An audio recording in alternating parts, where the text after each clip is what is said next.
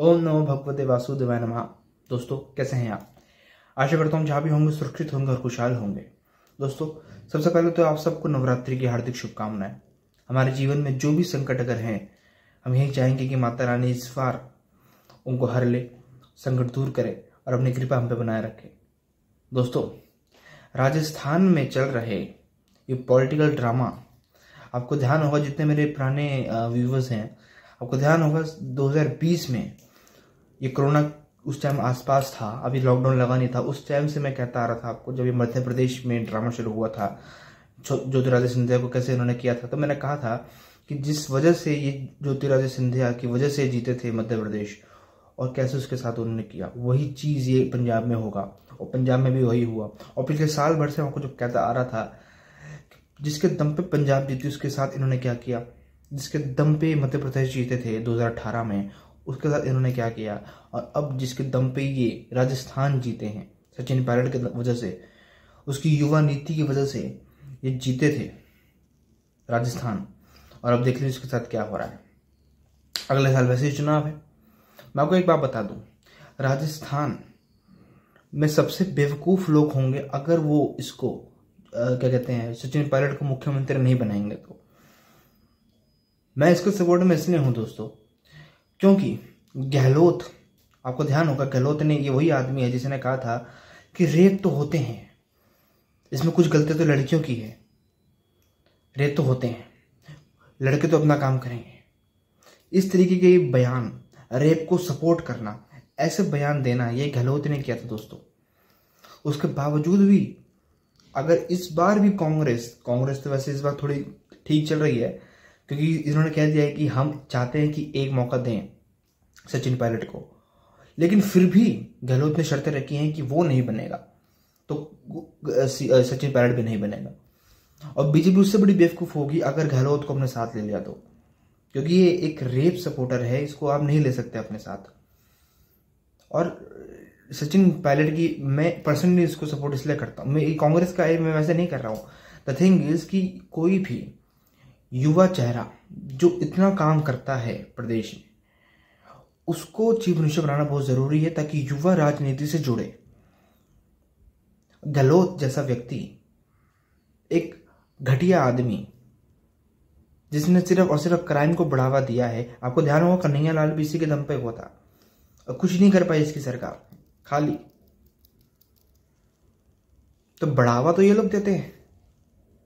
तभी सचिन पायलट ने बहुत गंदा रिएक्शन दिया था इसके ऊपर कि हमारी सरकार ढीली है। देखिए, मेरे हिसाब से सचिन पायलट को मौका मिलना चाहिए और अगर बहुत बेवकूफ़ी करेंगे अगर लोग सचिन पायलट को चीफ मिनिस्टर नहीं बनाया तो इन्होंने। और मैंने आपको साल, डेढ़ साल से मैं यही कहता आ रहा था कि जो कैप्टन अमरिंदर सिंह के साथ हुआ, वो अगला नंबर। पहले इसके साथ हुआ था ज्योतिरादित्य सिंधिया के साथ, मध्य प्रदेश में, फिर कैप्टन अमरिंदर सिंह के साथ और अब जो सचिन पायलट के साथ होगा। और बेवकूफ़, बीजेपी भी, बेवकूफ़ी बीजेपी भी ना करे, अगर इसके साथ दोबारा सरकार बना ली तो गहलोत के साथ। ये भी नहीं होना है। बहुत सारे विधायक जो हैं, गहलोत के बागी हो गए हैं और नामांकन से भी इसको बाहर कर दिया गया है। जो कांग्रेस प्रेसिडेंट की, जो नॉमिनेशन फ़ाइल होने थे तीस तारीख तक, वो उस सिरे से भी गहलोत बाहर हो चुका है। तो साफ़ है कि गहलोत का तो पत्ता साफ़ होने वाला है। और सचिन पायलट मेरे हिसाब से अगले मुख्यमंत्री होने चाहिए और शायद होंगे भी। क्योंकि युवा व्यक्ति को जिसको वैसे इतना सपोर्ट मिला हो। और मैं ये समझता हूँ कि कहीं ना कहीं थोड़ा सा हिंदुत्व बाकी है सचिन पायलट के अंदर। मैं भी मैं गलत हो सकता हूँ। लेकिन फ़िलहाल मेरे को ऐसा लगता है कि सचिन पायलट एक अच्छा चेहरा है।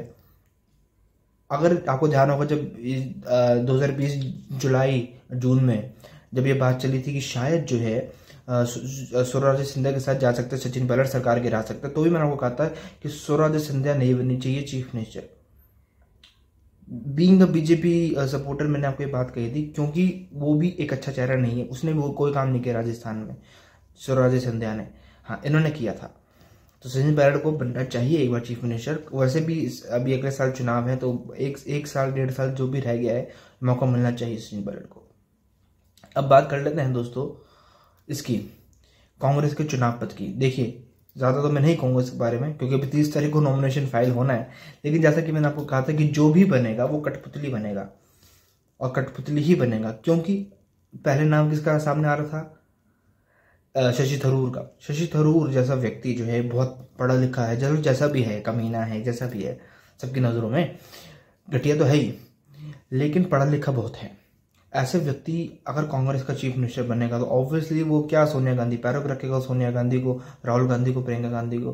गांधी पर उसकी जूती पे। इनको क्या चाहिए? जैसे उन्होंने मनमोहन सिंह को चीफ प्राइम मिनिस्टर बनाया था, कि उनकी सुने, है ना? तो वैसे ही ये लोग कांग्रेस अध्यक्ष बनाएँगे जो गांधी परिवार की सुने। मतलब चेहरा तब भी जो है, प्रेसिडेंट तब भी कांग्रेस परिवार का ही होगा, चेहरा दूसरा होगा। एक गुलाम रखेंगे वो।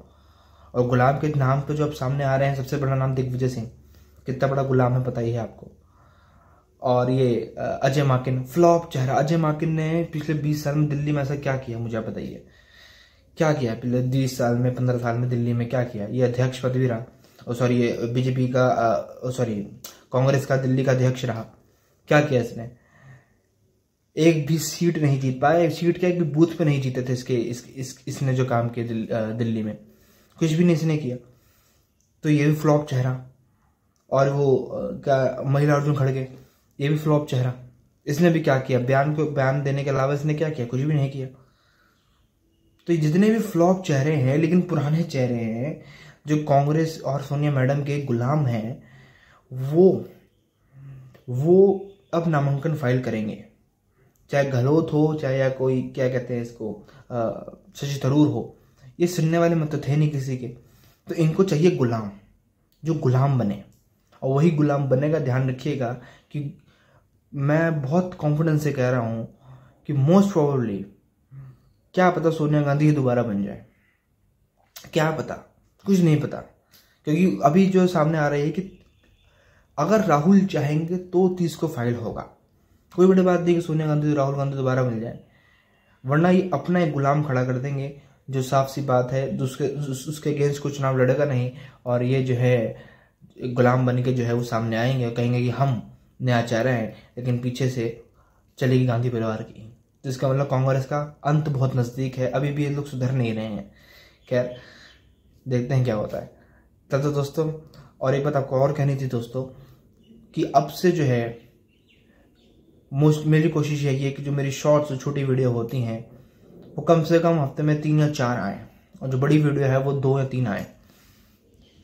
तो दोस्तों सपोर्ट करते रहिएगा और अपना आशीर्वाद मेरे बनाए रखिएगा। चलते दोस्तों, जय हिंद, जय भारत, जय सनातन।